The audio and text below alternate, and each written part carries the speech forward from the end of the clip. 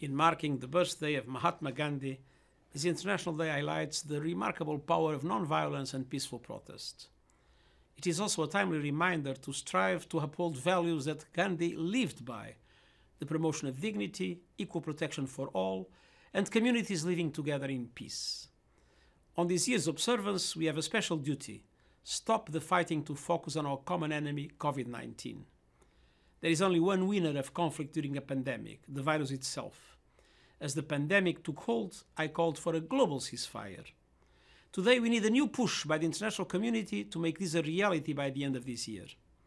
Ceasefires would ease immense suffering, help to lower the risk of famine, and create space for negotiations towards peace. Deep mistrust stands in the way. Yet I see reasons for hope. In some places, we see a standstill in the violence. A great many member states, religious leaders, civil society networks, and others back my call. Now is the time to intensify our efforts. Let us be inspired by the spirit of Gandhi and the enduring principles of the UN Charter.